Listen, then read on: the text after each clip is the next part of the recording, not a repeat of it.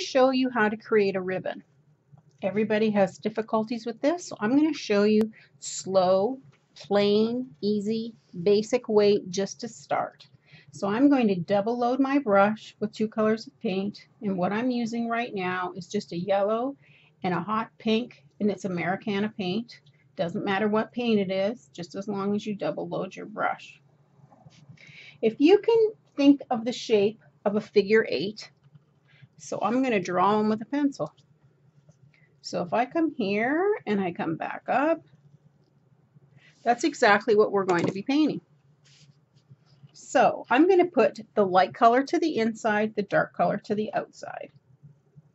I'm going to make sure that I have lots of paint on my brush. I am painting on paper so it might stick. So I'm going to come here and I'm going to place my brush around, oh, 2 o'clock.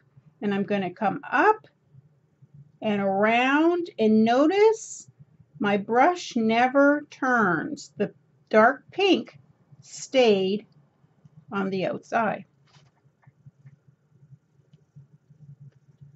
I'm going to continue this stroke up here again, push it out, bring it back, and push it back in. That's the beginning of how to learn how to create a ribbon. To do the tendrils that fall off,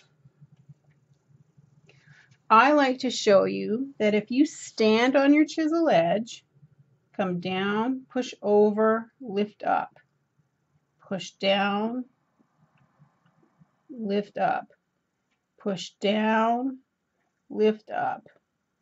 When you start doing this, you'll see that you have very, very rigid here and here. It's very straight and very stiff. And as we know, ribbons don't do that. Once you have this down pat, it's not difficult to come back over here and in a very swooping motion, you get that curve and the bend in the bits of your ribbon. Again, we're going to come out and in and out and in and out into the chisel edge. To finish, you want to do a stroke, a comma, a comma or a C stroke. And just come in here and put that in. As you advance to creating your ribbons, let me get another piece of paper.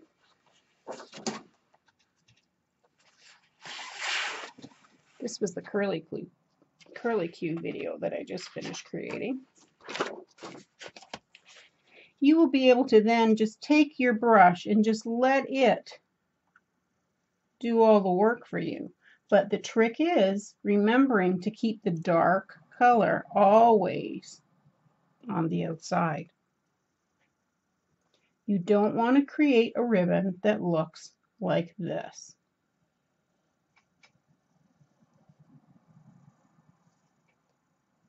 I should be getting some extender and then it doesn't. If you look, this has more depth to it and this one is very flat. Again, I'm going to show you how to do the trailing ribbon. You're just coming in here and chisel edge, push over, lift up. Chisel edge, push over, lift up. Chisel edge, push over, lift up. And chisel edge to a point. Now you're going to practice that until you can come along and just very quickly and smoothly. If you can accomplish creating this ribbon, that's going to help you when you're turning leaves up, when you're flipping a leaf, or if you want to flip anything. Thanks for watching. This is Sue Gait signing out.